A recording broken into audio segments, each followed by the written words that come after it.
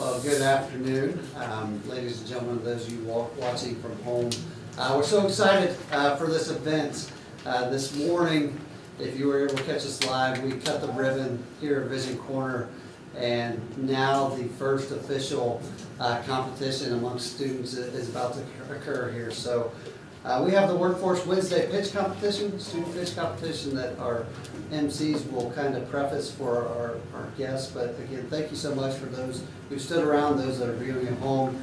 And I think you're not going to be um, upset if you tune in here for the next hour to watch these kids uh, compete for twenty thousand dollars. With that being said, I'd like to introduce our principal, Mr. Jason Limbus, and I'll, he'll follow up with Mr. Jones, and they will kind of event.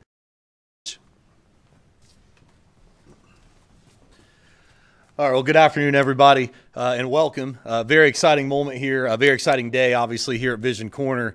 Um, a little bit about what's going to happen here. So, we have um, some groups of students who have been working really hard this, this year. We, we came up with a concept called Workforce Wednesday, and really what it is more than anything is a way for our students to become more engaged uh, more hands-on uh, real world challenges that need dealt with um, projects that we can put out in front of them that you know they're able to they're able to find solutions for. And you know one thing that we that we definitely uh, heard loud and clear coming out of the covid pandemic was you know kids don't want to go back to a bell to bell schedule. They don't want to sit in the classroom for 45 minutes until the bell rings and move to the next class. They want to do meaningful, you know, hands-on work-based work-based learning. So we've got seven projects here, um, seven, I'm sorry, seven groups uh, representing seven different projects in Workforce Wednesday.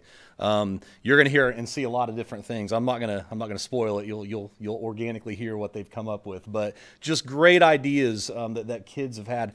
And if you're at lunch and you heard the panel, the student panel, when teachers allow students the freedom to take the ball and run with it, uh, it's amazing what, what they can do. And, it, you know, just in the short amount of time that we've had Workforce Wednesday in our building, um, it's it's it's just been it's it's beyond anything that I could have ever expected. Um, and that's teachers and that's students and that's that's everybody um, because it it's it, there's a lot to do and, and we've got a long way still to go but it's it's been very impressive. So i hope you enjoy this. Um, i'm looking forward to, to hearing what these students have to say and i hope you are too. So without further ado mr jones our community outreach coordinator uh, is going to i think say a few words and we'll get going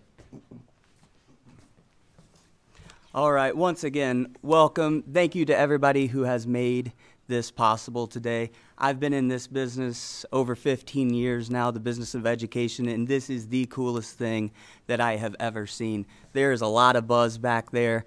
I have had the privilege of watching these students grow and develop all kinds of crucial, just absolute important skills, whether they're going into college, whether they're going into the workforce, whether they're enlisting in the military. I can't say enough positive, just incredible things about our students. Um, any opportunity I get to brag about our students and give them a chance to show off their skills. Uh, I was just telling Mr. Black about this the other day. It is a 10 out of 10 day for me, and I am confident that you are going to be impressed here today. I have in front of you placed some packets there, so as you learn more about Workforce Wednesday, if you already partner with us, if you would like to partner with us, I won't go into great detail, but there's a lot for you there to take with you. Uh, we would love to hear from you, uh, and we'll make those connections happen. I mentioned just a second ago these students and the skills that they are developing, and that you'll see here in just a moment work ethic, communication, and collaboration. And it's so funny, Mr. Black just caught me a second ago and sat out in the hall halls where, you know, there's people kind of scrambling around and we're putting everything together here. Uh, have you ever seen this kind of collaboration? So, uh, I, again, just cannot wait to uh, get these students out here and let them do their thing. Uh, before we do that, though, I would like to take a moment for everyone here, our judges, if you would, uh, introduce yourself and maybe say a little bit about your business and organization. Dr. Lash, you want to start? Hi, um, I'm Katie Lash. My um, by day, I'm Vice President for K-14 and Strategic Initiatives for uh, Ivy Tech's Community College statewide. So support the 92,000 students in the state that are taking dual credit or dual enrollment programs, um, and um, proud Randolph County resident. Hi, uh, good afternoon. Pat Haney, Executive Director of East Central Educational Service Center. Um, we've uh, uh, thankful to have uh, Randolph Eastern uh, as one of our, our member districts and uh, just incredibly proud of the work that uh, they have done and our very, very small role in supporting that. Good afternoon, everyone. I'm Victoria Herring. I'm a senior project manager with the Indiana Economic Development Corporation. I work with attraction projects and attracting businesses to the state of Indiana. Workforce is certainly a huge part of that. Uh, I also live in East Central Indiana, so excited to be here today. Hey, good afternoon, everyone. My name is Trevor Friedeberg. I'm the president and CEO of the East Central Indiana Regional Partnership. So, we are a regional economic development group that covers nine counties that comprise East Central Indiana. Happy to be here. Good afternoon, everyone. I'm Jason Troutwine. I serve as the vice president at Reid Health, and I also serve on the Vision Corner board. And from a Reid Health perspective, we're part of the career pathway for healthcare careers, and um, so we're excited to be part of this. Uh, Paul Faddis, uh, I'm a local businessman and uh, just a proponent of the county. Cheryl Fisher, I own Matchett and Ward Insurance. Um, it's a business that's been here, it will be 100 years old in 2026. And um, I'm now I'm going to embarrass my son, Mr. Jones, but he is a prime example of what this is all about because he, you know, did his education and then came back to this community, and that's what we all look forward to. Thank you for having me. I'm Jennifer Housel. I am the HR and IT director for uh, Cobalt Civil in Winchester. I am actually a transplant to Randolph County, so um, it's my new home, and I'm just so proud to see everyone come together. It really makes a new meaning of community. Thanks for having me.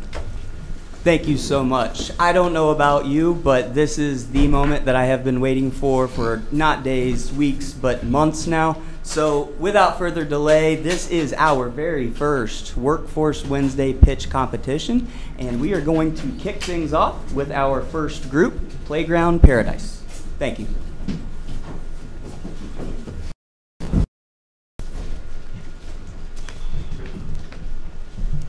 I'm sure many of you in the room have kids, siblings, grandkids, or a younger family member that you have taken to the park. Have you ever taken them to a park that you thought was unsafe? Well, that's what happened with me and my little six year old sister when we took her to Harder Park in Union City. There was a slide that was broken off to look like a shank. My dad went home and grabbed foam and duct tape to fix it for other children, but we no longer felt safe to be at the park. If this happened to us, think about how many people have been affected by a same or similar scenario at Harder Park. This is a problem that needs to be solved. That's why we initiated the Workforce Wednesday Playground Paradise Group, a collaborative effort between students in the city to completely revitalize Harder Park. My name is Audrey Black, and I'm a senior member of this group. Today, I'm going to explain why this project is necessary and outline our goals to create a solution. I'm Kaylee Mansion. I'm a senior member of this group as well. Um, I joined this group just to put a positive impact on our city. Um, today, I will be here just to help answer questions if needed. Our overarching goal is to create an inclusive, safe, and ADA accessible park in Union City. This project is not only a want in Union City, but it is necessary. The park is currently not safe. The equipment is not durable or up to date. It is hazardous. It is 70 years old, and on top of all of that, it is built under a tree canopy that fosters the growth of mold and bacteria.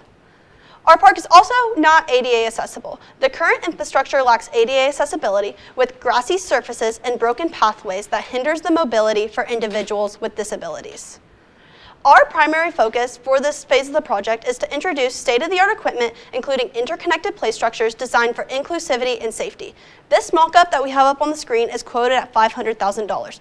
This mock-up is not exactly what we are looking at, however, because it is not ADA accessible. It just gives us a good idea and estimate of what we are looking for. Our primary aspiration is a large connected piece that you see on the far left, but ultimately what we get will be based off of what we are able to raise. Our second implementation is location. We are going to move the park to where the equipment is in the area behind the pool. This way, it is out of the tree canopy that is fostering the growth of mold and bacteria. We will also look to add sun shields to prevent the equipment from getting too hot. These sun shields will let sun sun through to kill bacteria, but will protect children from getting burnt on hot equipment. Our third implementation is sidewalks. These sidewalks will connect the park to the pool and directly to the pool parking lot we have decided to turn these sidewalks into sensory pathways, where there will be instructions such as hop on one foot or spin your wheelchair three times. These will help spur movement and foster health in children. Our last implementation for this phase is the rubber surface that we are going to add. We, the rubber surface will make it so that all the equipment is easily accessible. The rubber surface will also be fall safe from 6 to 8 feet to protect children from fall injury. This is just a start. This year, our Playground Paradise group is focused specifically on replacing hazardous equipment, but that is not the full vision. In the future, Playground Paradise groups will work for a complete revitalization of Harder Park. We dream of adding a splash pad, a carousel, redoing the basketball courts, or the soccer fields. With your help and support, our opportunities are limitless. With $20,000, there's a lot that we can do to get our project off of the planning stage and into the building stage. There are many pieces of equipment that we are looking to use this $20,000 specifically for, such as a small piece of equipment for two to five year olds, many ADA accessible or sensory pieces, or it can go towards one quarter of our large interconnected piece.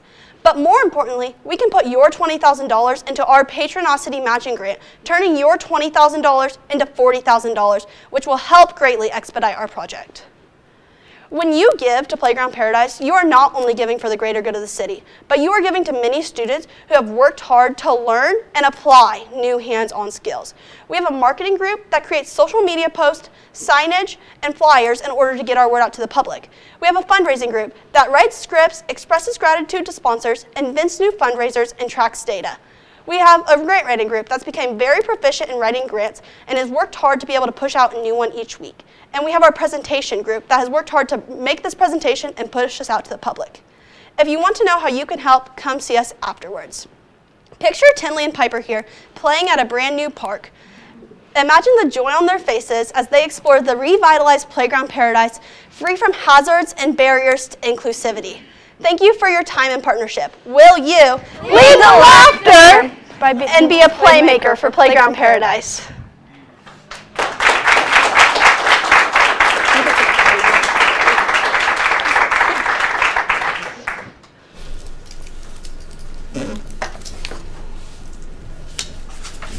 If you got any questions, judges, now don't have time. Yes, thank you. If that, yes, if you have questions, now is the time. Yeah, great. Yeah, great, great job, girls. Um, what can you tell me? I'm, I was curious if you could share a little bit more about the matching grant and how you can uh, grow these funds if, if awarded. So our grant writing group has applied to Patronosity. It's a matching grant, and basically they're going to match dollar for dollar whatever we put in. So if we're awarded twenty thousand dollars, that would be turned into forty thousand dollars. Do you have anything to add on that? Um, what is the overall cost for your phase one um, goal? Five hundred thousand dollars. Does that include the sun shields and the sidewalks, or is that Yes, separate? that includes everything. So, question, you- great, great job. Um, So from a fundraising perspective, a lot of times, and well, really anytime that you're applying for grants um, or you're raising funds, you need to have a fiscal agent. So someone who's going to manage the money, and organization that you're applying be on behalf.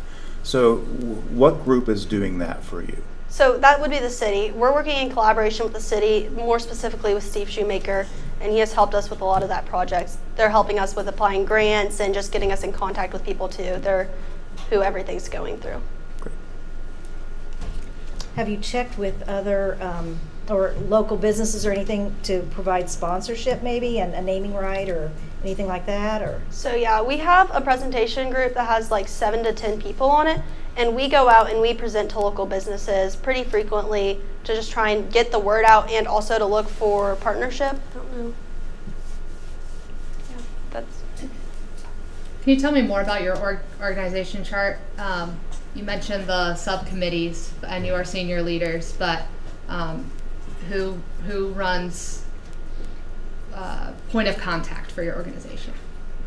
Um, so our teacher in the room is Sarah Black, and then she puts us all in leadership positions. So there's a leader in each group who Sarah tells what the group needs to do for that day, and then they are in charge of their group for the day. So, and would you picture yourself as um, a committee at this time, or do you look forward to like being a standalone business or even a 501c3? I think we're a committee at this point in time. I mean, it would be cool to be a 501c3, but our city already has their own park board, so it's kind of just a collaboration, and we are just kind of taking it into our own hands because, you know, we're the future, so we'd like to be able to come back and bring our kids back here one day. So if you got this completed, it would be turned over to the city for uh, to be made sure it's managed into the future as you guys uh, go off to college or whatever? No, so Workforce Wednesday is a continuing project. So Playground Paradise will happen next year and for many years to come. So the goal is to raise up our juniors, freshmen, sophomores, and teach them how to do it. And they will be in charge for years to come, and they will be in charge of the upkeep. Are there any plans for what you would do with the old park? Um, it's it's just going to be pulled out of the ground. We have some people who are looking at doing in-kind labor in order to pull up the old park for us. So, how much of the, the funding of the phase one has been raised at this point? Um, we have over $7,500. Last time I checked, it was $7,500. And then we have in kind donations from multiple different sponsors who are looking at helping us dig up, d- dig up the old park and then potentially helping us with like foundation work.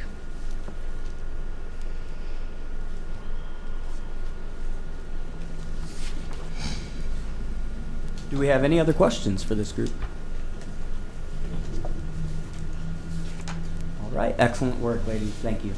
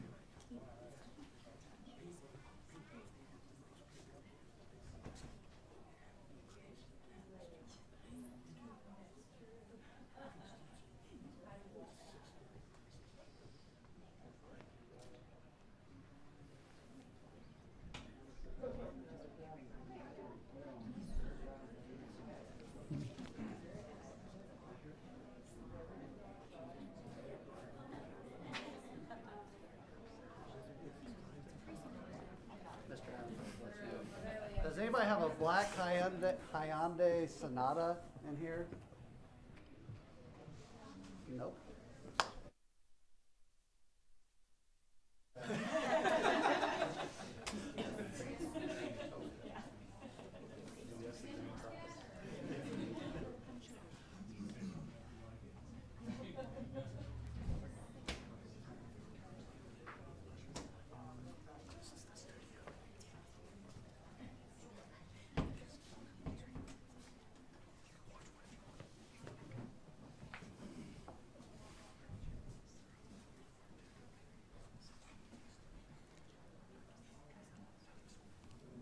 Okay, judges, are we ready?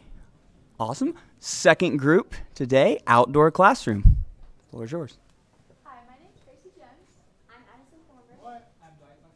I'm Quincy Middle. I'm Kaden Noggle. And we're presenting over our outdoor classroom. So a little bit about our project is we would like to create um, a learning environment that promotes collaboration and communication through student mental health and well-being um, while being in the outdoors.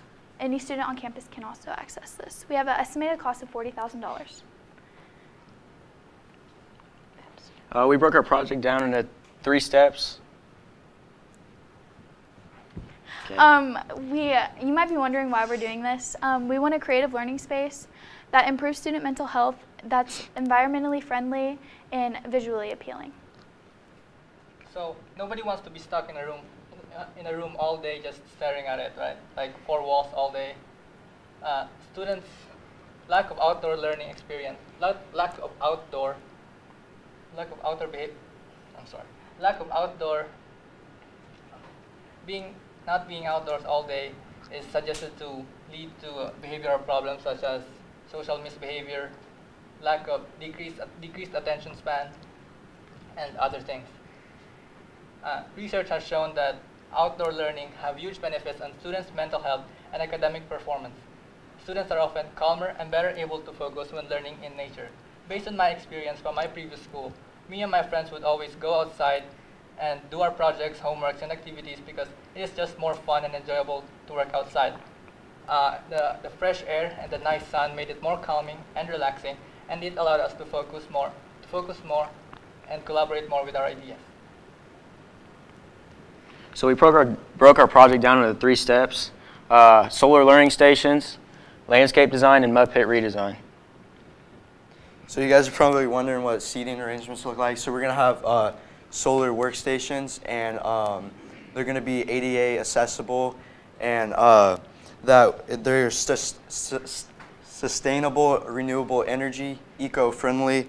Uh, it has the ability to char charge multiple devices, like you need your laptop, uh, your phone, your tablet, and uh, there's no additional cost to the school. And um, we have an uh, IRA 30% uh, reduced, so it's like a grant for us. So during our project, we ran into some, into some technical problems. Trees in awkward spots, lack of energy, electrical power, dull and boring space, and it's always wet.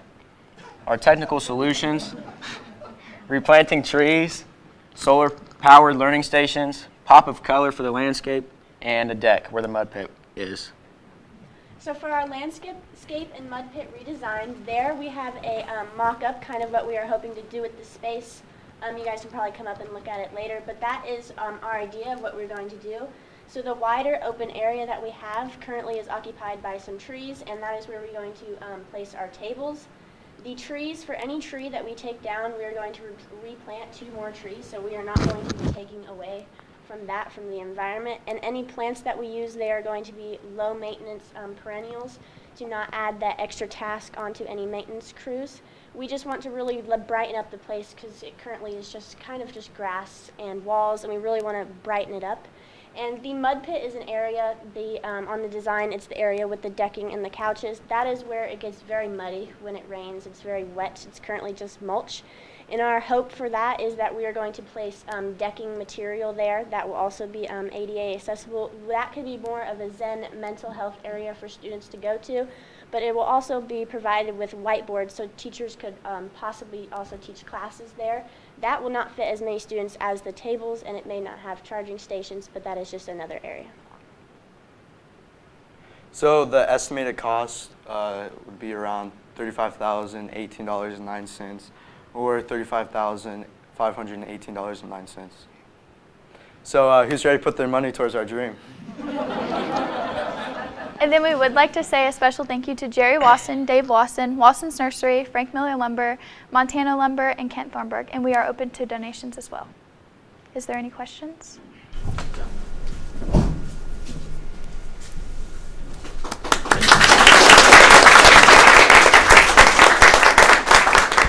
Judges, as you think about questions you would like to ask, I know that this group has a model that they would like to share with you, so th- that would be a good time if you'd like to hand that to them, so maybe they could pass that around and get a closer look. Here's the three guys. Um, one quick question. So I saw the uh, you had the IRA in there for the 40 or 30 percent. So that's the Inflation Reduction Act. Is that correct? Yeah. That is, okay.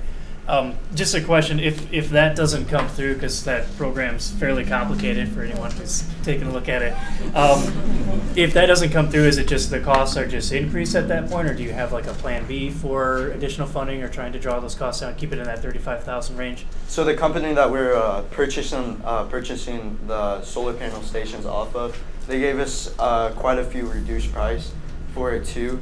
So um, I, they brought it down a lot, uh, which helped us out, and uh, that price is without the 3% reduction, so it could go lower. Okay. No, that's great. Thanks. Do you have any concerns of uh, increased uh, needs for teachers because this is outdoor space? And then unfortunately, in the society we live in, sometimes inventory control of students if in case of an emergency, um, you know, yeah, some sort of an attack or whatever, do you have plans in place for those types of things? So um, where our outdoor classroom is planned to be, it is right outside of door S2, so in towards the Spanish hallway, and there is also like another exit towards like the outside of the building because it's like an open space, and then there's another door you can exit. but you can also come inside to one of the classrooms if there was an, any attacks. And then as far as, i- i- is there a need for additional teachers because this is outside? No. Um, Okay. Have you thought through ways that you could utilize this space when the weather is not perfect in Indiana? So we have thought about like in the decking area possibly like covering it so that it could be covered there. The um, solar panels might be like cover for like slight weather, but if there were really bad weather, you probably wouldn't be able to use it. But it would a lot of the time hopefully be good enough, and it will be all outdoor material, so it should withstand the weather very easily to um, make it so that you can use it as much as possible. It may not always be possible. We hope it can be most of the time. Can you give a, uh, an example maybe of a change that you made um, in your, your plan or your design based on feedback that you received? So there were some things that we had changed. There were um, originally we were hoping to like take out all of the trees that we had, and then we had realized that that might not be the best um, way to go. And we were at first thinking of doing just one giant large pad, as you'd see on the design. They were all kind of separate pads. We had just changed that to hopefully like fill the space more, and also maybe help students be a little more independent and it not feel so much as a classroom, so that you felt more uh, independent, but it was still in a classroom environment where you could easily, the teacher can easily handle all of the students that are there. Would this be a location that, say, teachers would have to check out? So if they decide they want to take their students out on Friday, seventh period, would there be some kind of schedule that they would have to get on? Or is this more of a free space where you guys could go out on lunch period? It, it should just be a free space for anyone. So if you win this money today, what would be the timeline before we would see any um, action? So you probably wouldn't see um, any building probably towards towards the end of this year, and we are hoping to do it next year too. And we have also thought about getting people together over the summer to start the landscaping designs first before, but the solar stations likely wouldn't come until next school year. Have you? I have two questions. Um, one, have you engaged, um, or do would you plan to engage with anyone, for example, like a landscape architect, maybe one that the school works with? Have you had any discussions at all with anyone like that? So this is all a student, so it's students hands-on. So we're gonna try to do most of the part, but if we need to have other people for like the landscaping, like a landscaping company, uh, if we need them to, we will, but we're gonna try to do our best as students. Okay, that's great. And then I have a follow-up question as far as maintenance goes. So, um, you know, thinking about the school's budget, they would have to take care of this. What kind of maintenance, you know, do you guys foresee, and is the school okay taking that on? So the largest amount of maintenance would probably be, um, you might in the winter, like if we do do go with couches, you might have to take like cushions inside and things, and watering plants. But hopefully, the um, if the workforce Wednesday continues as long as we hope it will, students will be able to carry that mo- on most of the maintenance, such as watering and pruning. And the largest thing would probably be the mowing. Would just be harder for um, them to mow around. That might be the largest amount of maintenance that would be needed. Most of it should just be able to keep going without much maintenance needed to it. That's what we're hoping to be able to, to do. And they are supposed to be on paver bricks too, so it's easier for them to mow around. Okay, terrific. Is this in an area that, are you concerned about vandalism, like the public getting in and being able to do anything to it that, you know, sadly happens sometimes? Um, it should be good. There's security cameras. It's by, it's towards kind of like the back where the teachers' parking is. Uh, it's quite open space, but the building, how it, how it's like shaped, it should kind of hide it in the back since it's going to be towards the back. So there should hopefully not be any vandalism.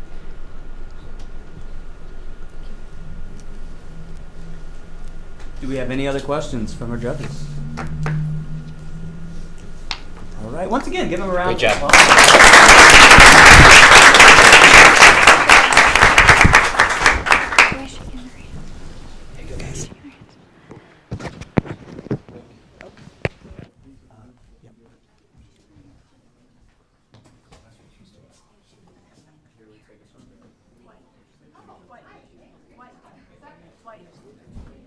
Let's get to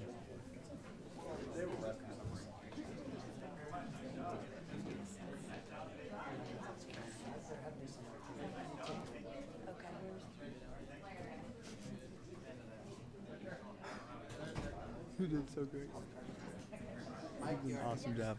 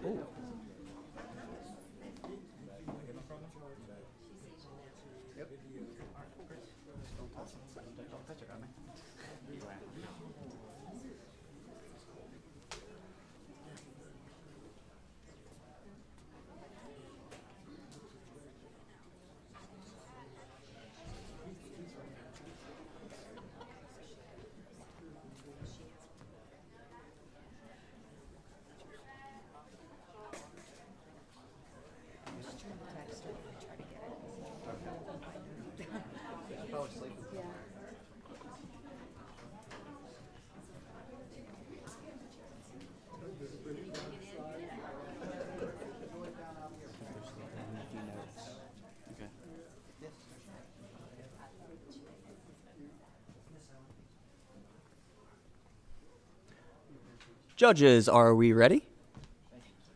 Okay, so group number three of the afternoon, farm to table. I'm Carter Sickles. Is my hello? Y- You're good. It's on. All right, whatever. Hi, I'm Carter Sickles. This is Rodney Sickles, and this is Al- Alejandro Aguilar Mendez, and we are proudly representing the Union City Farm to Table Group. Our group has been working hard to get our school a chicken facility l- located beside our new ag shop.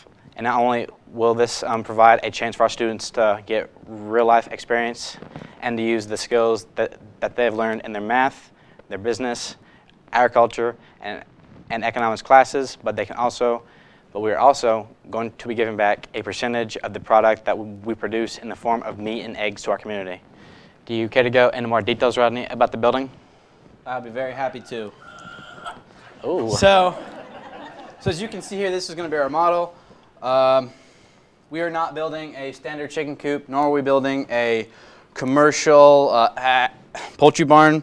This is going to be a um, educational facility for our students, as uh, this is one of the most common practices here in Indiana for agriculture, and we want to be able to get our students involved in something that is going to be directly related to their food, and especially to our community here at Union City.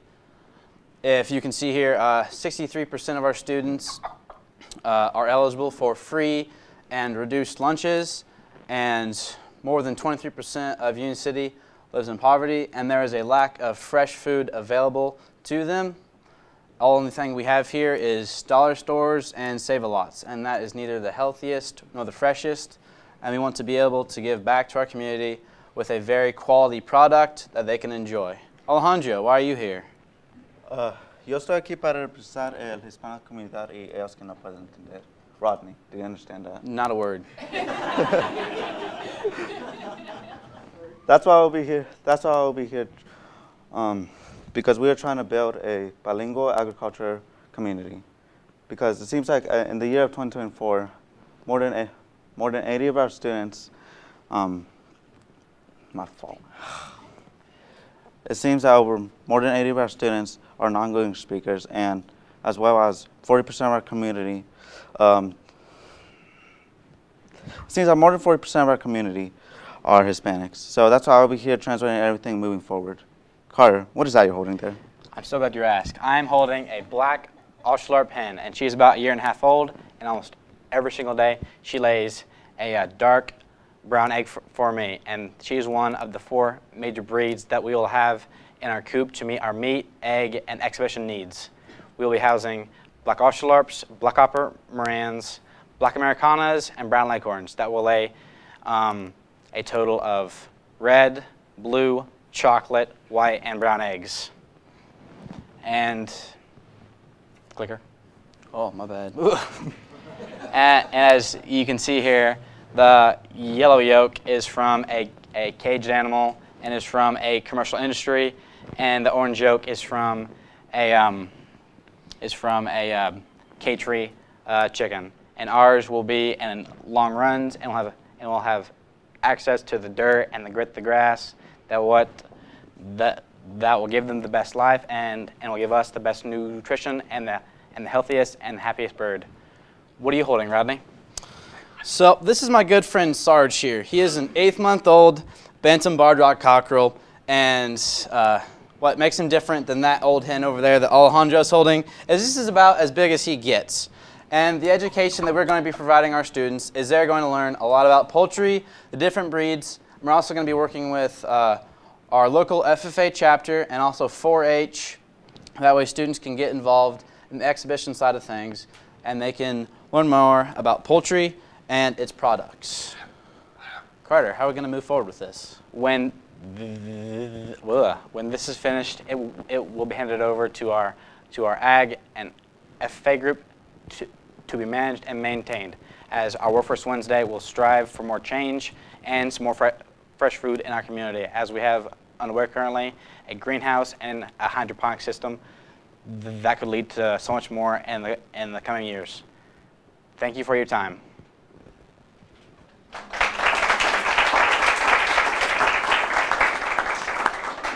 Okay, judges, questions for our group. How do you plan to implement practices to prevent things like avian influenza? So our birds are not going to be in direct contact with any outside sources. And any birds we do get in, they'll be directly quarantined and we will be watching where they come from, such as hatcheries that are NPIP certified and other exhibitionists that have animals and, and clean tested flocks.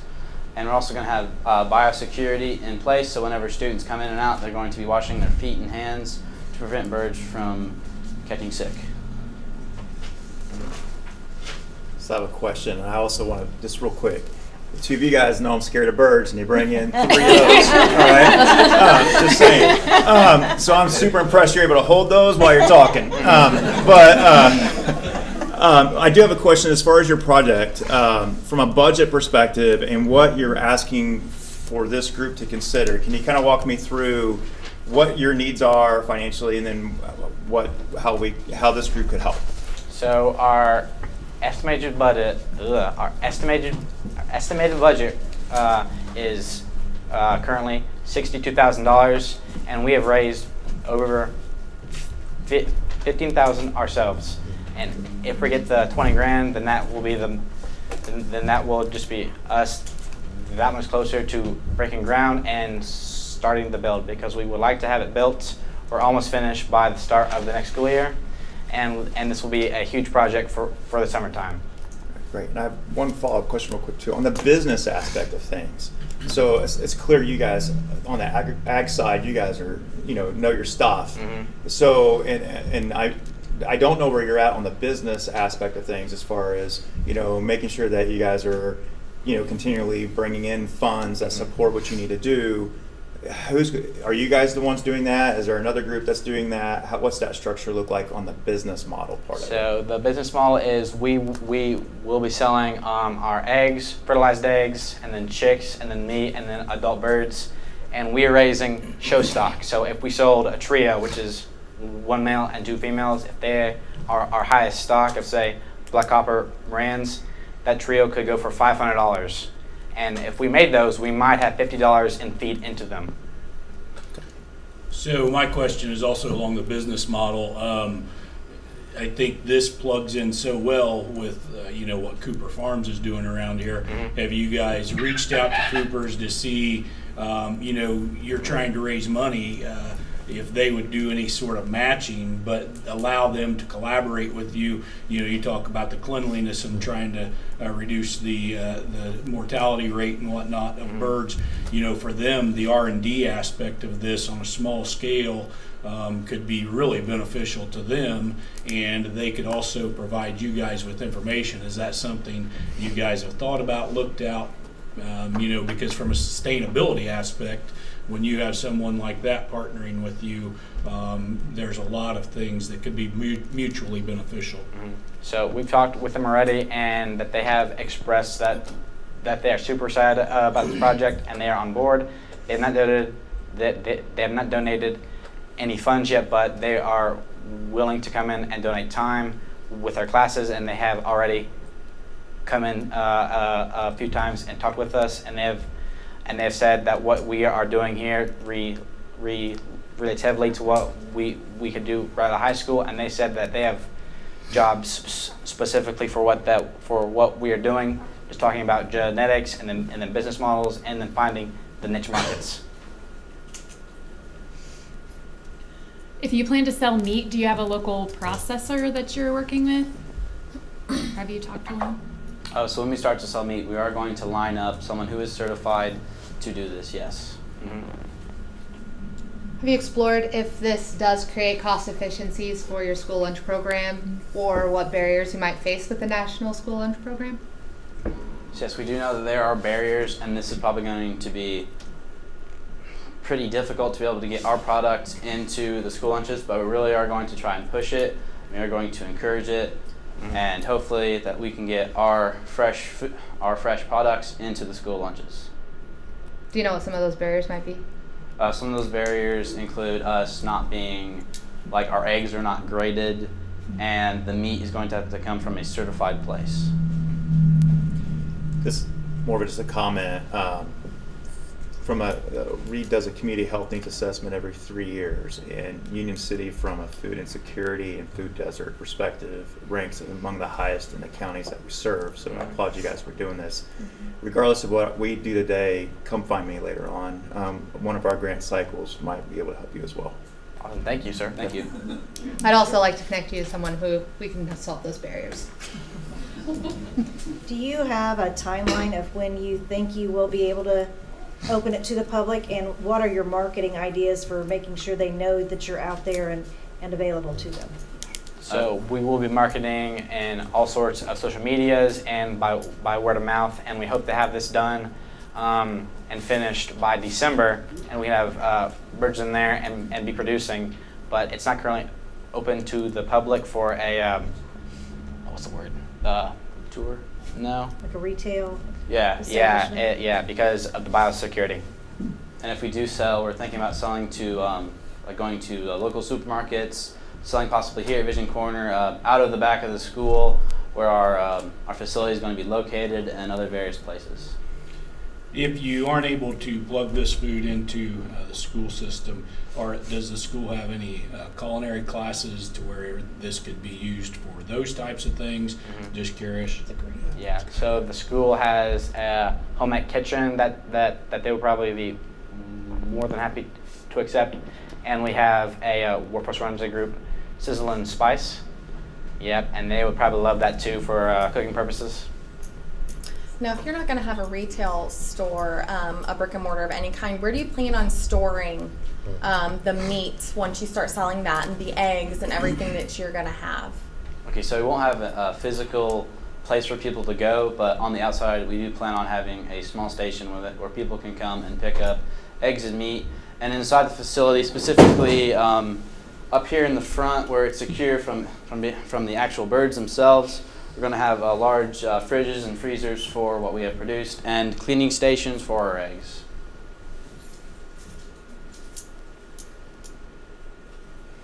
The last group let us uh, touch something. Jason. I was waiting for that. Excellent. I'm with you. What about the little one?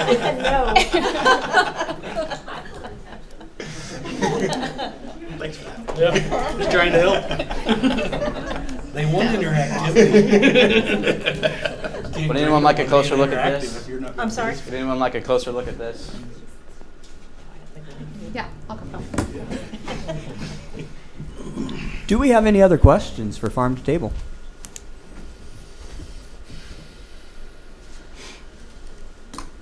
So as you take a moment here to tally scores, jot down some notes. Mm-hmm. You guys want to? Yeah. Great. Thank you. Thank you for listening to us. Thank you for the chicken. Thank you. Thank you, sir. Thank you, ma'am. Thank you. Thank you.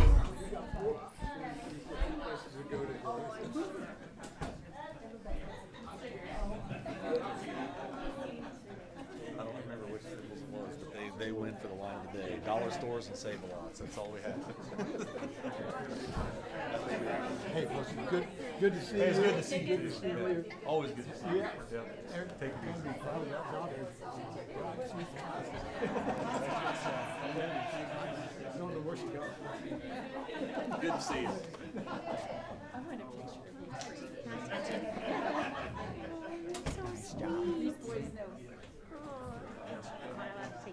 Yeah. Okay, we'll stand together. Where's Rod? Come on, hey, look, look at them. They've got one. Sorry, there we go. That's what I- You ready? Make Room for the main one. Okay. Okay, look here.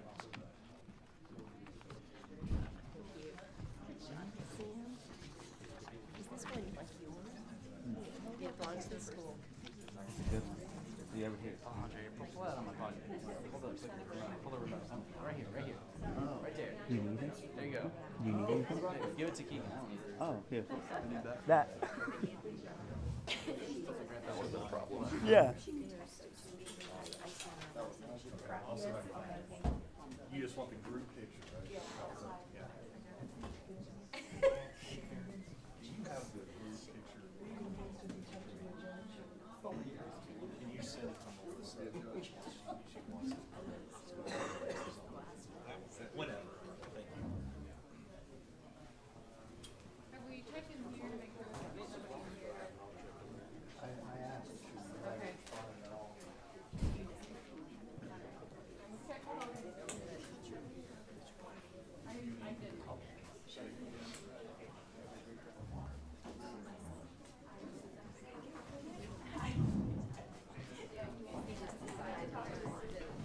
Oh, okay, yeah.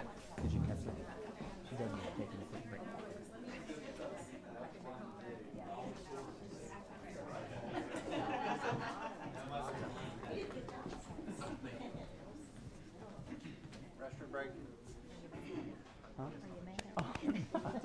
What, Are we doing just a little restroom break? Yeah. Okay. So we're taking just about a five-minute break, so you can talk amongst yourself. If you want to stay stand, stretch your legs, you can do that. We'll start back about 135, 36 here. More pressure. You can just stand in the spotlight. You have the clicker. Yeah, you do. Okay. Well, it's certainly taking a lot longer than I thought it would. That's good. These judges are asking phenomenal questions, and the kids have phenomenal answers.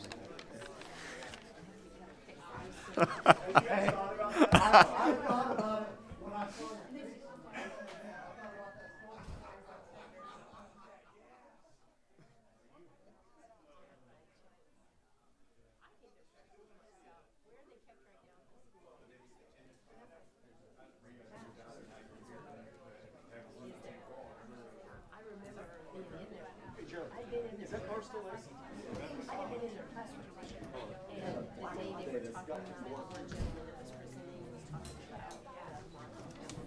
about. You don't know who drives that black Hyundai? No, I Okay. They're into it.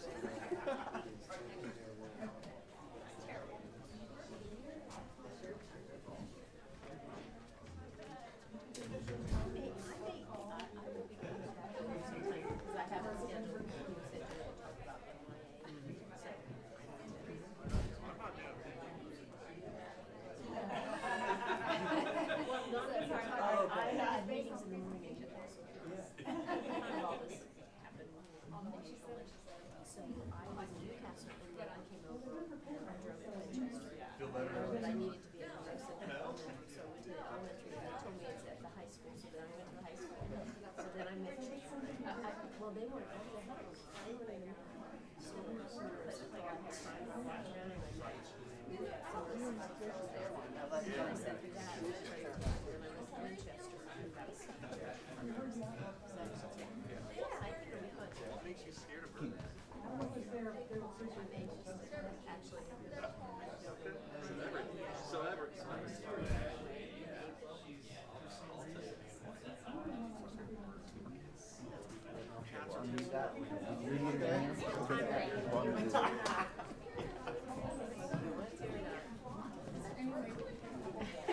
actually.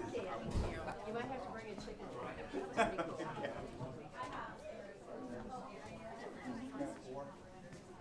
Yeah, kids and chickens. Come on, let's go. Yeah, right.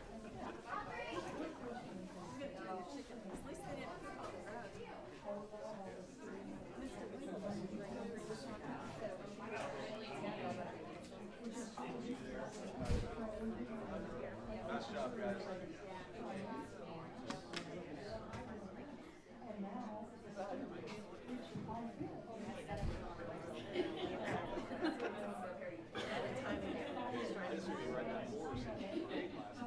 You got so far behind. Yeah, give you a really hard job. Make sure Jason gets back up. See you. I know, you're like intermission man. We're Oh, icing yeah. you. Sorry, Keegan. You got it. Ice water in the veins. Yep. I'll get, I'll, I'll get.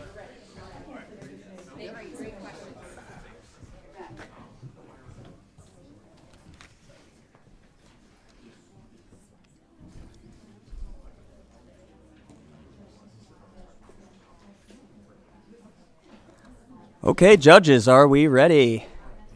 All right, I present to you Wigwam Coffee. Hello, I'm Keegan Livingston, and I am here with Wigwam Coffee. Before I get started today, I'd just like to see a show of hands of who all drank coffee this morning. So, almost everybody. Please just keep that in mind as I go through this presentation. So, here's just a quick overview of what I'm going to be going through. So, my idea for Wigwam Coffee first started when I got into the Sizzle and Spice Workforce Wednesday group. It basically just teaches students things about cooking, budgeting, and everything they're going to need later in life when they're trying to prepare meal, meals for themselves and for their family. But cooking is expensive, and especially expensive when you're cooking for a class of 20. So the first thought that I had to get past that point was to open a coffee shop to help feed funds into the Workforce Wednesday group. So some of the benefits of Wigwam Coffee would be time management. They would learn it in a food service industry, and then that translates very easily over to everyday life with having to be able to guess how long things will take for you to get done.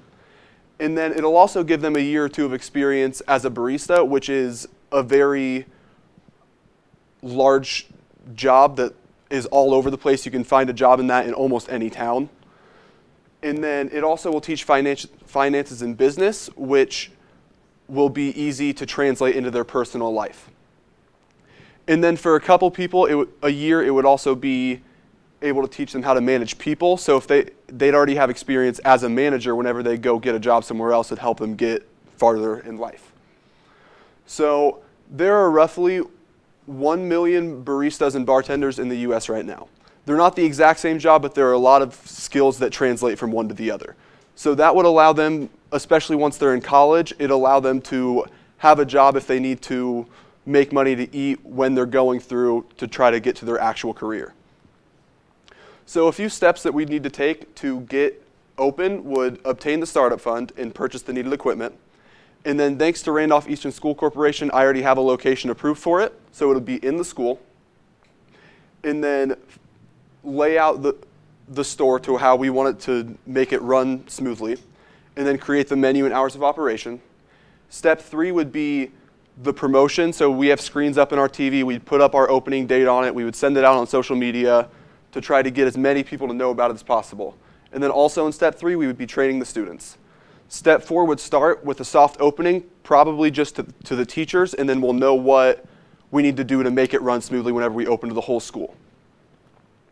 So why is it unique? There are very few schools in the state with coffee shops, most of them being places like Carmel, who is huge, with a lot bigger population than us. We would also have it certified as an SB through DECA, and DECA, if you don't know, is just a program that helps students become better leaders and businessmen. So we would be the first school in Indiana to have three SBs. There's only two with two right now, and it's us in Carmel. So it would also allow students to experience native culture. With our mascot being the Indians, they see that mascot every day, they hear about it, but most people don't actually get to see what it's like. So we would be using things like chicory in our coffee, which is the original ingredient that Native Americans use to make their coffee. So our estimated budget, thanks to Randolph Eastern again, the rent and utilities would be covered.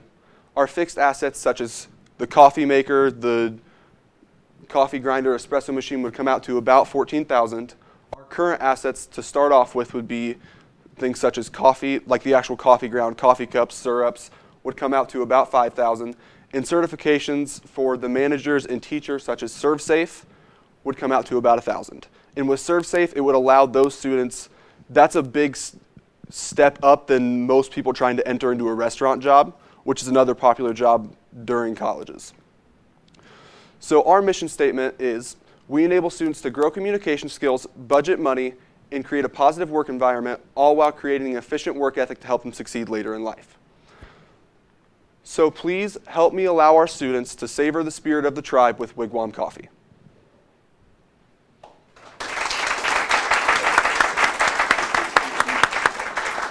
Judges, what questions do you have for Keegan?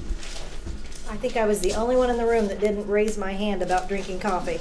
So will you have other products like chai tea or something? I've looked into that, and most likely we would. And then also with chicory, there is full drinks that just use that that don't really taste like coffee.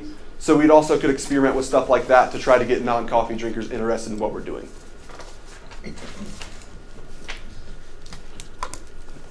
So the best business classes to own a business. Um, have you discussed this with the uh, administration as far as this should be in the curriculum? This should be a business class. Um, because you have the management, you have the finance, you have, um, you know, setting this up, finding out what products are no longer relevant, uh, and adapting. I mean, to have a business within a school system that allows people to learn business and entrepreneurialism, this should be a class. Have, has there been any discussion on that? So as of right now, we already have two SBs in the school. So Apache, which is on the other side, Correct. and then the TP, which is a snack store open during lunch. So it would eventually run through the same curriculum that those do, to where you have to take principles of business, digital marketing, and then you can go into TP, Apache, or Wigwam Coffee. Okay. So I, I love the fact that you have a mission statement. That's that's that's great. Um, but you mentioned that this is our, or I think you maybe used our or we. So who all is we and our? So the people that are involved in it right now are pretty much just me, Justice Cantu, who is the sizzle and spice teacher, and then Becky Keel has worked with me a little bit. She's the business teacher. Okay. How much of how much of the funds have you raised? First question. Second question. When it comes to barista training, um, how who who will be able to do that? Who has the um, experience with being a barista? Who would be able to provide that training for the students? So as of right now, I'm still looking into that. There are people who I know work at hometown that would, that I could talk to, and there's I could go through training if I had to. I could find somewhere to to work and go through training to get the students ready to be there. But as of now, there isn't a set way to get to that point. And then how much how much of the funds do you have raised from? So we actually have not raised any yet. This was my first starting point because the twenty thousand will cover pretty much everything I need to do it. And we're already doing it in a room in the school that where the TPR snack store is located. So it'd be alternating between the two. So a lot of the pricing of it is already covered with that. Um, you mentioned uh, approximately fourteen thousand dollars in fixed assets. Can you rattle off a few what all you've considered in that fixed asset? So the coffee maker, which we wouldn't need one that that's that fancy for that. An espresso machine with a steamer on it. The coffee grinder, so to actually ground the coffee up. Those would be the main things for it, because we already have things like a register in the TP that we could already use. So that that kind of stuff would already be starting off there. Okay, and then have you considered taking this as a mobile opportunity? Would that um, find that cost was actually our first thought with it was to have a coffee cart and then hearing about this pitch competition like why go that small why not set our limit high and then eventually we could also run a coffee cart especially down to like the elementary school because that's connected All right. it's all it's k through 12 so we could bring a coffee cart down there to those teachers So I have a question. So it's this would be unique being inside of a, a high school, right? You mentioned like Carmel potentially has one of these.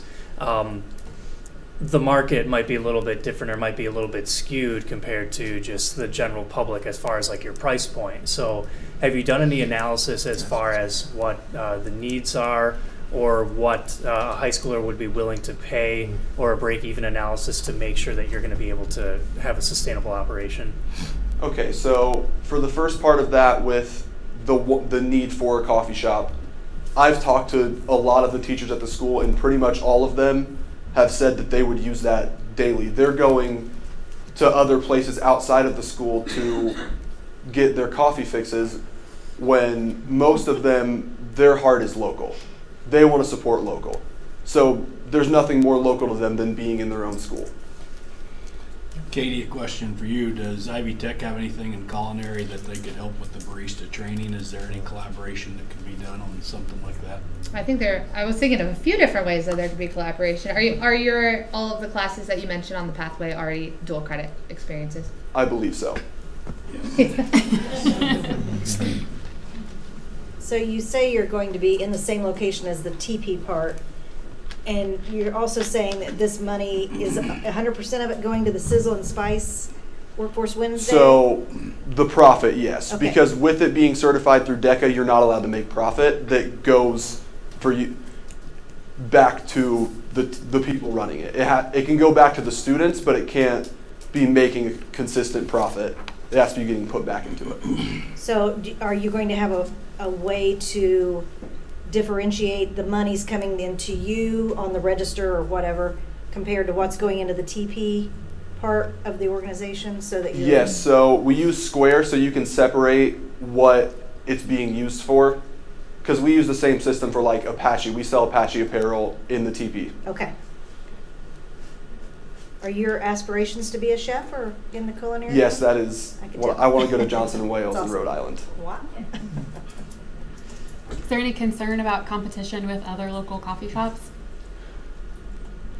Not really, because most. One thing is competition is healthy for both sides. So it it would help us one the students learn more about how to beat out the competition and how to find your target market that's going to be different than what the other coffee shop will be, which the only other coffee shop in town is Hometown Coffee, which is right across the street. So teachers do go there, but a lot of their people are just people around the community. We would be more geared towards just the teachers and the high school students. Anything else? Let's give him another round of applause.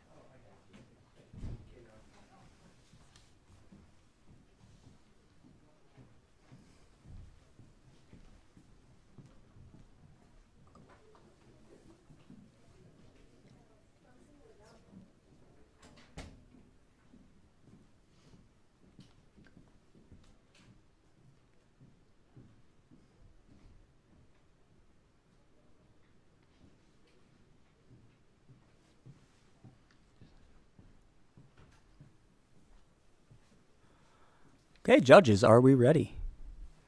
All right, our next group, the Schoolie Project. Before we start, we'd like to introduce ourselves. I'm Jace O'Connor. I'm Luke Collins. And I'm Jason Connor. Recently, I had a unique opportunity to travel to the Carolinas through our school. I got to experience historical Charlotte, aircraft carriers, and a whole new environment in general. I'm thankful for that, but while I was enjoying these historical sites, I thought about how much better it would be if my classmates were with me, because they should be granted with the same opportunities as I had. Sometime later, the idea of creating a traveling schoolie was suggested. I realized that this could be the bridge to give other students a chance at similar opportunities. And that's where we came up with the Schoolie Project. So, what is it? We plan to transform a decommissioned school bus that the school has already agreed to donate to us into an eco-friendly RV. We will travel across the western United States. It is something that the school can keep and utilize for future use and not just a one-time thing. Thank you to RESC, Randolph Eastern School Corporation, who has already agreed to donate the bus. All we need now is $20,000 and we can convert it into a comfortable mobile living space. We have hand-selected students with the passion and the skills to complete this project. We are aware of some of the problems and challenges we will be facing. See, we understand there are going to be some unforeseen challenges as well, but we are willing to face them head on. This is why we have reached out to local businesses to assist us with any questions and any help that we need. The bus will provide students with hands-on learning experiences and many other skills outside of the classroom. It will feature plumbing, recycling, and solar panels. We are aware that the solar panels are going to be a big part of our budget, and that is why we believe it is crucial, or we believe that it's crucial to our project. The AC and the solar panels are going will provide us with a comfortable mobile living space, and this is a great opportunity to work with green energy. And this is all a part of the learning experience. But the learning experience does not stop after the bus has been built. We have planned a 10-day trip over spring break 2025 to the Great American West. This trip includes Mount Rushmore, Yellowstone, the Four Corners, and Gateway Arch, just to name a few. All of our stops are in a great, incredible experience while providing great educational opportunities. We have planned this tri trip on a software named Roadtrippers. Our expenses are lodging and attractions at 1,500 as well as our fuel. This brings the total cost for the trip to $3,000 and the total cost for the project right around $20,000. What are some pros of our project? Well, this is a completely student coordinated project. We will experience hands-on learning, home renovation skills, and experience in trades. We understand that there are going to be some challenges. On the road, we know that there could be potential breakdowns, which is why we will have an RV AAA membership for assistance if needed. We plan to maximize every square inch with creative storage solutions to take all of our belongings with us. We also recognize all this driving may be difficult for just one adult, which is why we will have two drivers to rotate and keep us safe on the road. We want everyone to be able to use and enjoy this bus, which is why we plan to construct separated quadrants for sleeping on this bus. Ideally, one group will sleep outside in tents, while the other will sleep on the bus. Is this a one-time trip? Absolutely not. Although this main trip is the culmination of our project, it does not end with that. For instance, it can be used for trips like the annual Washington, D.C. trip that our school hosts. It could provide temporary housing for natural disasters or any other needs. We recently had a tornado, and this bus could have served as temporary housing for a scenario like this. Aside from the educational value from the trips, the bus will need hands-on maintenance, which will provide students with a new approach to learning real-life skills. Don't just take our word for it. We surveyed our student body and 40% of our students have never been to a national park. 50% of our students have been on two or less out of the state vacations in the past four years. 20% have not been on a single one. And this is why we want to take everyone with us on our content creation journey. Through the use of TikTok, Facebook, and YouTube, we plan to document the bus transformation, the ups, the downs, the challenges, and the victories. As, all as well with our exciting trip out west. We have prepared some information that Luke and Jason will be giving out now. Thank you for this time and thank you for this opportunity. Does anyone have any other questions?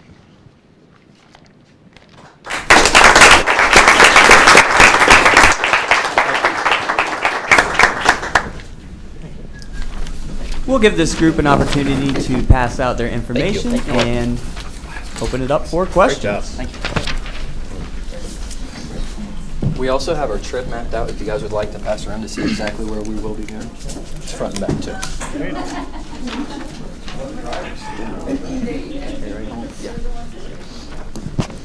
Okay, questions.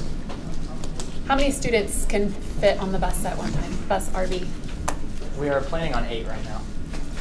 Eight plus the two drivers? Yes. Okay. How would those eight students be selected? For our first group of students, they've been carefully selected for the skills that they can bring to the table. They have connections with different businesses and other things to help us accomplish this goal. But in the future, uh, we think that it could be the students could be picked based on incentives of how they do, how they do in school, or it can just be used for field trips, things of that nature. Um, you say it could be used for field trips, however, it seats eight um, on the bus. So how logistically would you make that work? We anticipate that the school will support this, so we think we can expand on this. Um, Possibly have more than one bus, so maybe we took two buses. If our classroom size at our school is pretty small, so we could use two buses if the first one goes well. The adult drivers, are they also chaperones, or is there Yeah. going to be an age group? I mean, are you having to be 18 to do this, or They will be uh, 17, or? actually faculty mem- members of the school driving. The bus would stay school-owned where it's insured under the school's insurance policies and liabilities and those things. We are currently looking into that. Um, it's, the title will be transferred to an RV title, so we won't have to worry about any of the seatbelt laws, any safety laws like that that fall under the school bus category. But your liability on something like that in insurance would be extremely expensive. That's the reason I'm asking whether it would stay under the school, uh, because their policy to cover this from a sustainability aspect would be a lot, and that's the reason I was curious where you were at on that. That's a good question, and we will find an answer to that. Would students and the chaperones be required to cover their own meals and um, other expenses on the 10-day trip? And or is that chaperone being employed or are they a guest? The food is something we've talked about, and it would all depend on how much budget we had left at the end. But we were talking about supplying for our own food and anything else that needs bought on the trip by ourselves. Does the driver need compensated? That is also another good question. We will look into that. Have you considered um, like renting out this vehicle just as another, like an actual stream of revenue to cover some of these costs? I know Yeah. there's apps that are available. So we're looking at this bus as a proof of concept. Um, if this first one goes well, we're open to the idea of expanding and looking at it more of a business aspect. So watch the insurance on that as well. Yeah. So I, I, I love this, I, this idea. Uh, work, but working in a couple of different organizations throughout my career, I also know that sometimes great ideas, risk off, risk officers hate them. Um, and so, uh, so I'm thinking about you know co-ed. I'm thinking about um, some of the you know making sure that you know all, all those kinds of risks. You know, boys and girls together in the same bus and weather inclement, you know, inclement weather, that kind of thing, and then also to Paul's point about insurance and what that could be from a risk perspective for the school. I know you guys are in the beginning stages. Have you have those conversations come up, and what did you think about those? Yes, we have. Uh, we have thought about the boys and girls problem, which is why we would have separate sleeping coordinates Mhm. for them. Um, it's if we could be outside the camp, weather permitting, that would be ideal. So Mhm. that they'd be separated that way as well. As a parent, if a student comes to me and pitches this idea to me, my let's say my son, and wants to go on this and says it's an educational opportunity, mom. how pitch it to me as a student going on this? How is it educational? With our survey results, many of our students, based on our area and income, most of our students in our school don't get to go many places. And most, if you think about a regular vacation, most people go to Florida or somewhere like that. And we're going west with all of these different landmarks and places that hold a lot of educational value that you re- read about in books, but you never get to see in person. Sure. So, uh, You know, as I say, I think to that point, uh, you know, one opportunity may be, uh, you know, the way that you connect it back to environmental studies, or maybe the way that you connect it back to history, um, some of the places, you know, cultural differences, those kinds of things. That might be an opportunity for you to explore should you move forward with this. So I guess uh, to tie that in, you're stating this would be educational because you're going to these places with landmarks. So would there be tests in this? Uh, you know, I mean, to make sure people aren't just using this as a vacation. Uh, how how do you plan to handle that? That's a good question. We really haven't thought about that part of it yet, but I'm sure we can look into it. And with it being an educational trip, another thought um, you might want to put some some time into is it only allows for two adults. Are those two adults going to be history teachers that also have a Class B CDL that can drive the, the bus?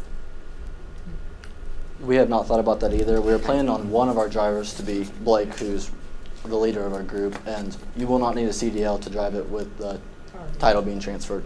Okay.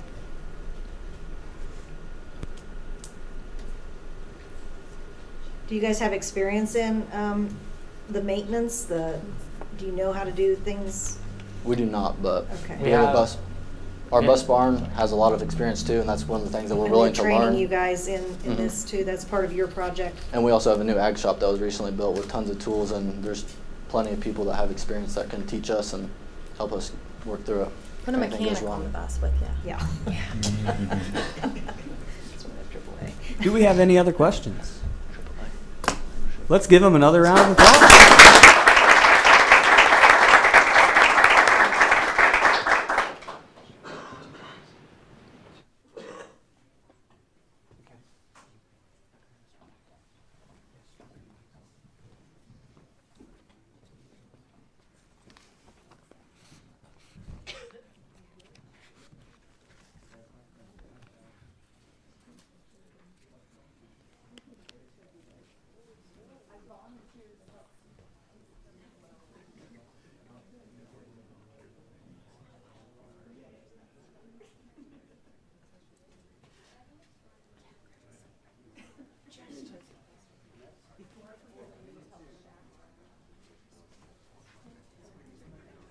these from Greenville are very interested in becoming part of our network of having students work with them, and they were excited.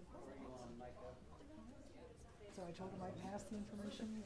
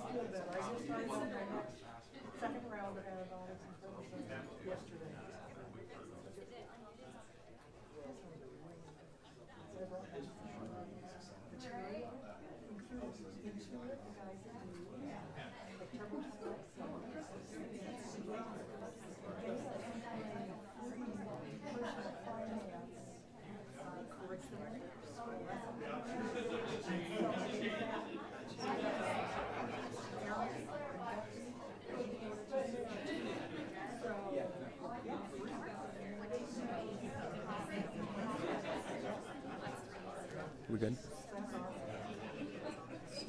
We good? We good? Are we good?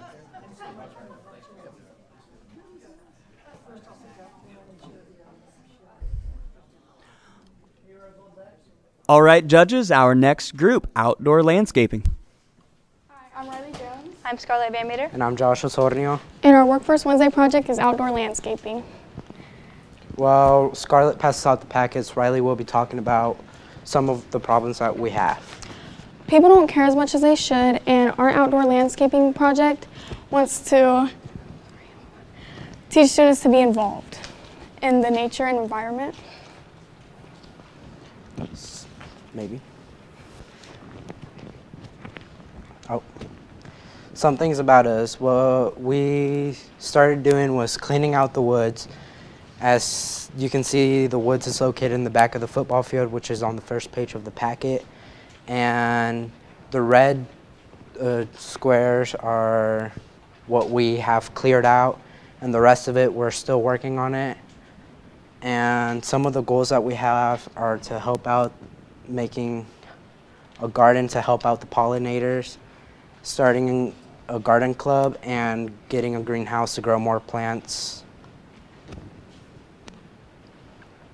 Goals and objectives. Our first objective is to clear out all of the invasive honeysuckle so we can maintain a very healthy and beautiful garden. Our second objective is to help the pollinators by planting a pollinator garden. And our third objective is to get people to join the garden club so that outside workforce say they can help with it. What is honeysuckle? Honeysuckle is an invasive um, plant that is quickly ruining our woods. It gets spread uh, around a lot by birds eating the little berries on the leaves, and it is becoming a very big problem. Garden Club.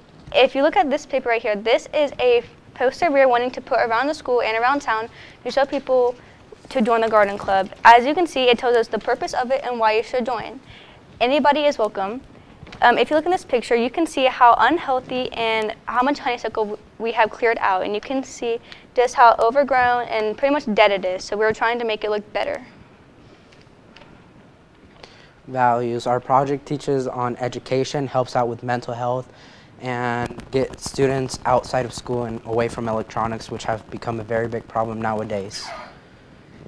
And on the packets, the very last, the very, the second to last page shows the how much we have spent and the donations.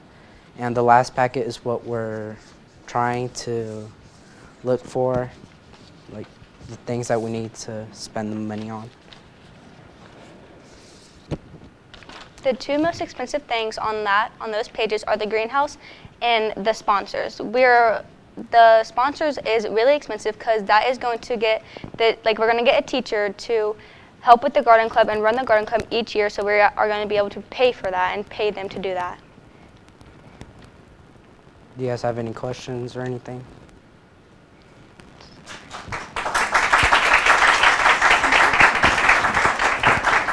Let's open it up for questions.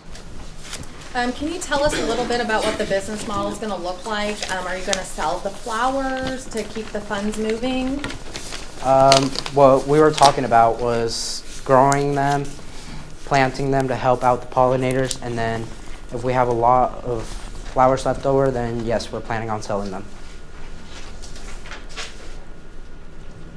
So just for clarification, this club does not currently exist. This would be No. asking for a new club to exist. Yeah. So might you offer um, your services to other parts of the community? We could.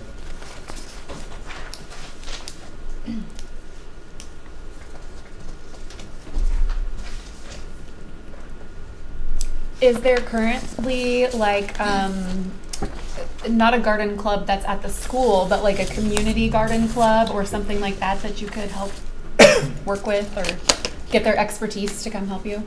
I don't think so. I have no idea yet. Have you surveyed around to see if this is a club that people in the community would want to be a part of? Or No, we have not. But it's we're planning to do it in the future. is there a lot of kids at the school that are involved in this? Or Our class is roughly around 15 people. So most of them are interested in joining the club. Can you guys talk a little bit about the, the greenhouse that you selected um, for the garden club and, and why you selected um, that particular uh, size or structure? So we wanted um, a big greenhouse so ag students can get involved as well, like growing stuff. So it won't only be used for the garden club, but also for our agriculture. And I think it was 14 by 10, maybe. And as far as like, um, how would how would the the uh, construction and installation of that um, take place? We have not gotten that far. Okay. On your projected expenses, there, you know, it's a pretty extensive list. Can you kind of talk about your process to go through and develop this? How'd you how'd you come up with this list? So it's just there's just stuff that we need like s- s- for safety, obviously the gloves, saw knives, and those are hand saw knives. I think they were. So is this greenhouse fully outfitted? I mean, is there irrigation or where are you at on that? We don't know yet. where will it be located? Um, if you look at the first page on the handout, the yellow. it's the yellow box up top.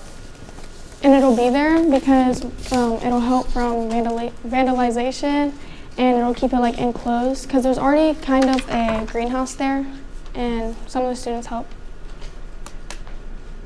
So a lot of greenhouse activity takes uh, place during the summer months. Is this something, who's going to take care of that uh, when school's out? That's something the the people in the garden club would have to talk about and help help out. Now, if you're not looking to um, sell, how are you going to continue to replace your recurring costs that you're going to have year over year? Because you know, for example, the gloves, a box of twelve, your people are going to lose them. You're going to have to buy those probably multiple times a year. So, how do you plan to um, fund on a go forward? Probably just trying to grow more plants to sell them. I, Selling a vending machine. that's something we haven't talked about that much. Okay. Do we have any other questions? Let's give them a round of applause.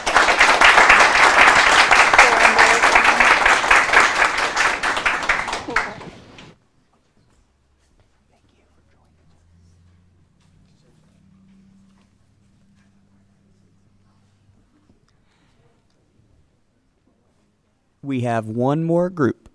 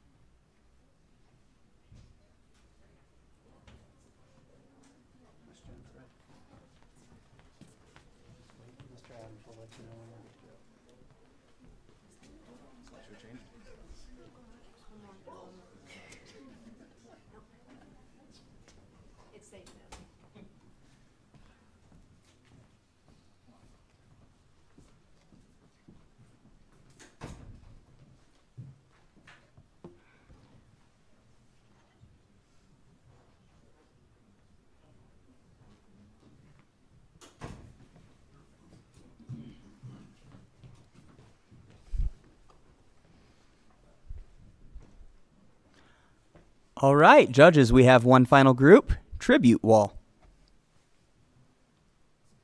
Hi everyone, my name is Nova and I'm here with my two classmates, Rosie and London.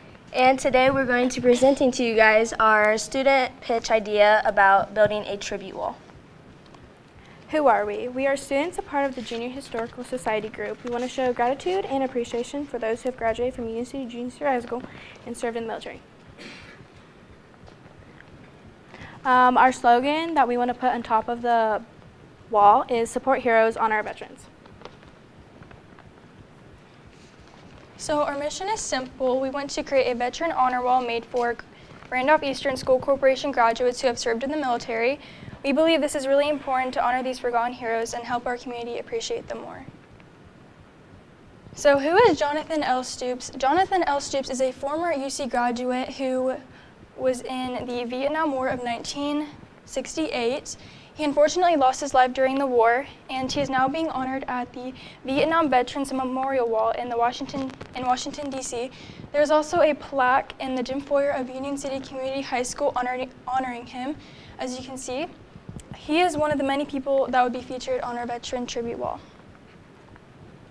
So what makes our idea unique? Something about that makes our idea unique is not, not that not every school has it. They don't have the opportunity to do it like we do right now.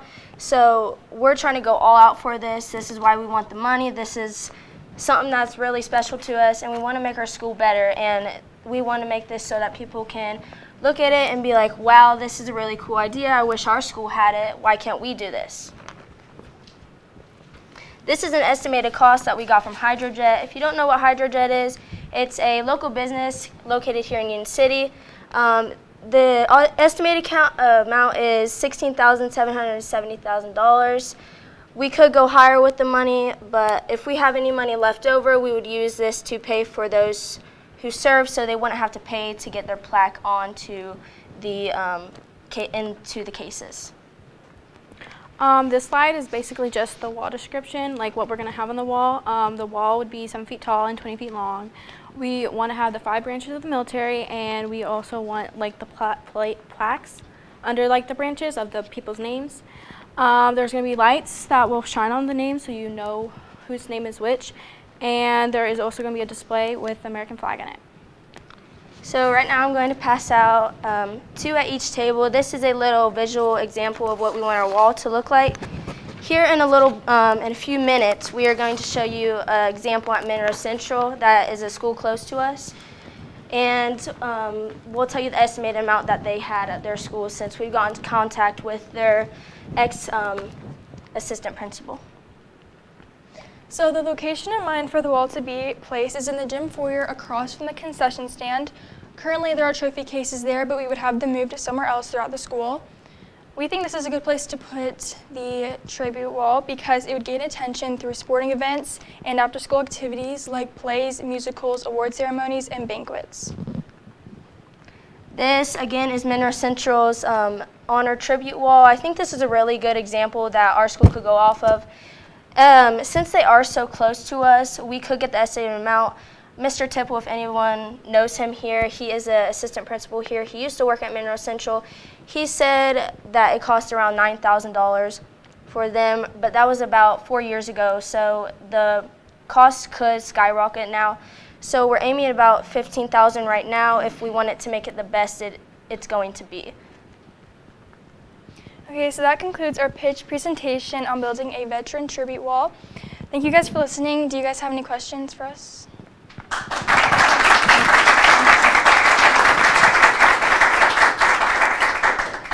Let's go ahead and question. Where are you going to get your list of, of the honored veterans? Um, we also we have three separate groups in our um, pitch, like in our classroom. There is a fundraising group that's trying to raise money for us. The pitch competition uh, competition group, which is us, and then we have one another group that is trying to gather names. So, as we said, like Jonathan L. Stoops, he's one of the people we would put up there, like my grandfather, um, Brad Jessup, and others just like that. So can I ask about that? Is that what inspired you to take this on as a project? Is or is military enlistment part of your futures? Um, actually, our teacher kind of came up with this idea himself, but it's also something that we took up onto ourselves to present to you guys because we felt that this is a really big thing that we should be sharing to everyone, and because we want to be concluded into this and make it into our school so everyone knows about it.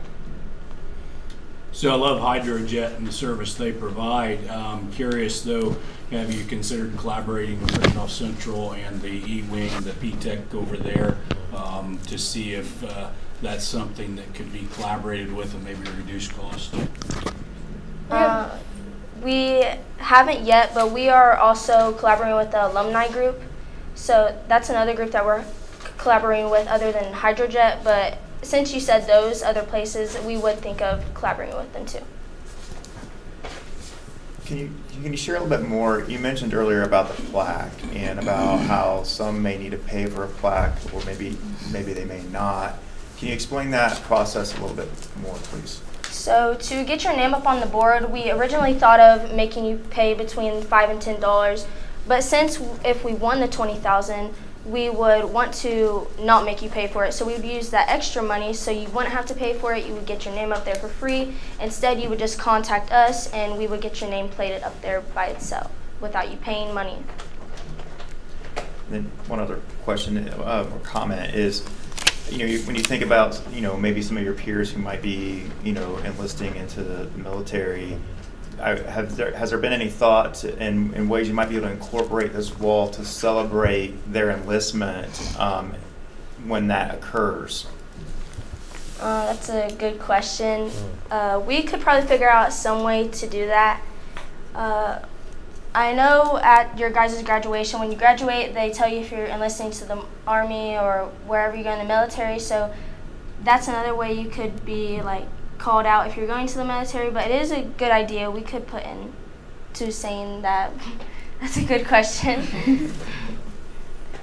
So Hydrojet would make the, the area for you, or whoever. But who's gonna do all the engraving, and are they gonna be available every time you want to add a new one? And I assume it's engraving uh, is how you're going to. Yeah. So as I mentioned earlier, when we were trying to get in contact with Monroe Central, um, he said that there were a few kids that were incorporated into the idea of getting that. Um, there was a kid, I forget his name, but I do have it in an email. Um, so we were trying to get in contact with him, but I don't have any of his socials. I tried looking them up. It's just, I haven't gotten it yet. But that's something we could do. He said that there was a guy that worked for them and did it, so we could get in contact with them if we eventually get in contact. Are they just gonna be a little metal plaque with their name and their, their Yeah, rank? and under their branches, yeah.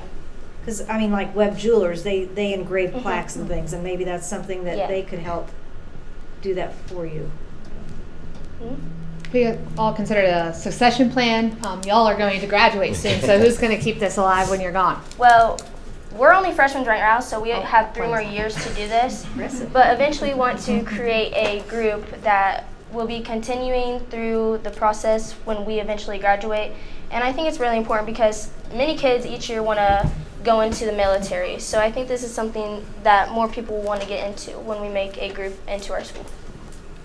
So you mentioned moving or relocating some of the trophies or trophy cases. Um, are there any any costs or approvals that you need to uh, secure or consider as far as that's as far as this part of this project? Um, our superintendent has gave us the consent of moving them somewhere else. We haven't really found a spot where we can move those trophies, but we will find a spot for them. Um, he said that we can move them, so Aaron Black is our superintendent. He said we can move them.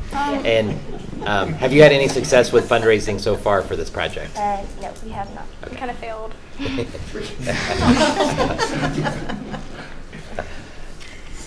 Um, can I add something about what you said earlier about the moving the trophies? Mhm. So what we intend to do is probably hire someone to move them for us, and then if we get the twenty thousand dollars, use that budget to pay for them to be moved, Mhm. and you know. That. Do you know like what kind of equipment it would take to engrave the little plaques? Because maybe that's something that if you win the money, you could get that extra piece of equipment for Apache, and that could Yeah. be something they could just Yeah. hmm Maybe it is something we could put into our school. Maybe kids could do that in a group, find out how to do it. Hey, hey, no, tell about, they're asking about how you're gonna get names. You, you guys started doing that. Tell about the QR code that you guys created. Oh yeah, we do have a QR code that um, allows people to scan it and they can go into the um, the Google form like doc thing where they can sign it out and tell us where they graduated from, what branch of military they're in, uh, what their name is, and all of that, so we know. Do we have any other questions? I think it's awesome. It's three freshmen presenting. Yeah, It's good for you absolutely. guys. Yeah, yeah. Give them a round of applause.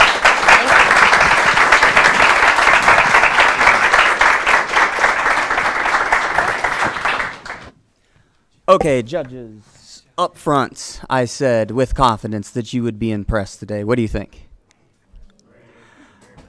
We are going to take approximately 10 minutes to finalize everything. We will have a title card on the screens for home viewers if they would like to submit their votes. So at this time, we will take a brief pause and be back shortly.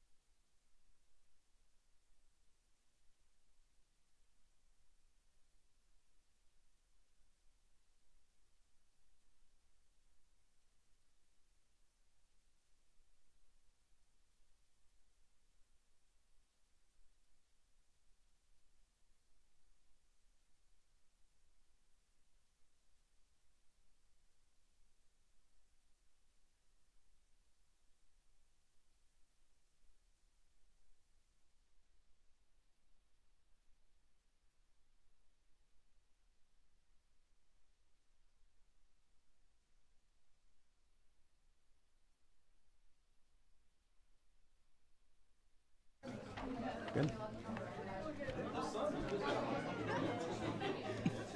Oh, you good? Okay, thanks. Thank you once again, everyone, for coming. Join us here on our very first Workforce Wednesday pitch competition. At this time, we have a special announcement. We have a very generous donor who has pledged $1,000 to those groups who did not make our top three. So, if we could, we would like to call the Schoolies, Outdoor Landscaping, Outdoor Classroom, and Tribute Wall up to join Mr. Adams and Mr. Black.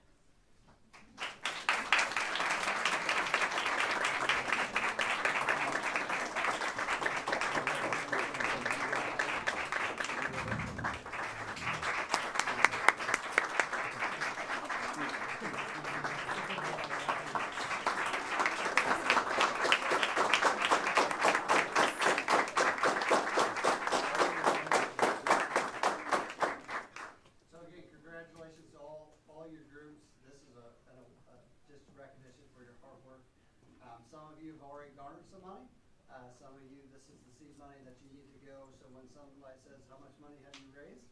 You can say, we have a thousand dollars for competing in the student pitch competition. So this is just the start and not the end. Uh, so use this, these funds to see through the rest of your project. Good job, well done today. Nice job.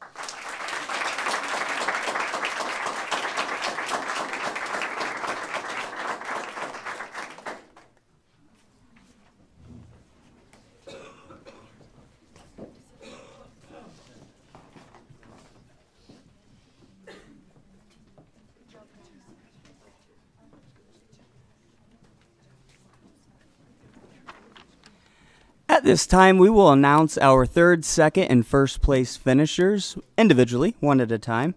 Coming in third place, Wigwam Coffee.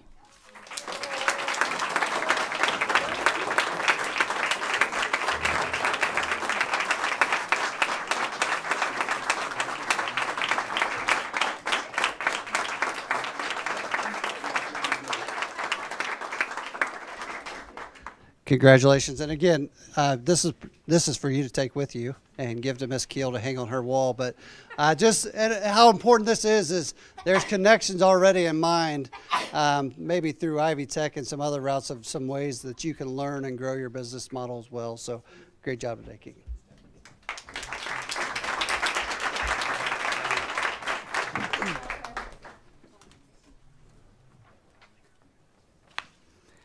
In second place, Playground Paradise.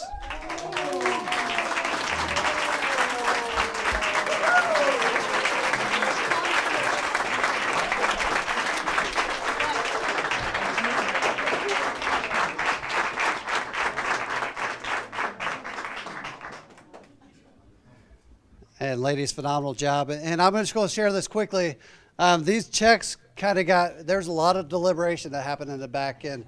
Um, from a presentation standpoint, combined with, you know, impact, uh, th- this $10,000 we know is automatically $20,000, and we know that you all are working on raising more funds. But I think it's important to call out that your presentation was um, at the top of just about everybody's list. So great job.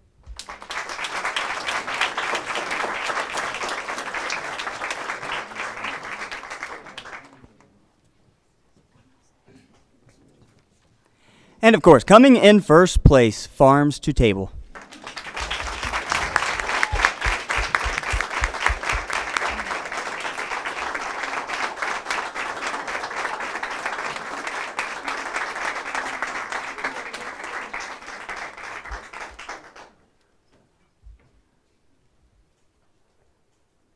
Gentlemen, I don't know if it's the live bird scaring one of our judges half to death or what, but um, we, we all think that you guys are on to something uh, in particular to a service to this community that can be sustainable. Um, so, uh, job well done. We, we love the knowledge that you two young men bring to the table. So, great job on your presentation. Uh, please make this $20,000 impact this community for years to come. So, great job.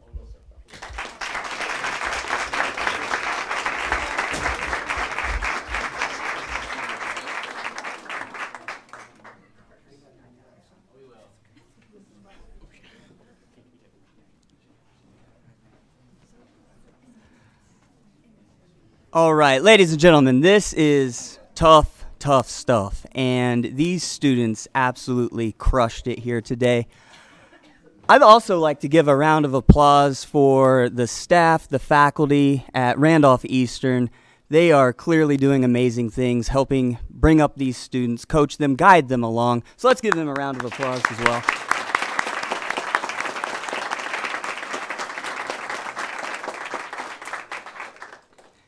Thank you again, everyone who made this happen, everyone who could join us here today. I do know that uh, our businesses are open until 5. If you could uh, possibly swing by and uh, throw some business their way, they would greatly appreciate that. Mr. Black, do you have any final comments? Okay. Again, thank you, everyone.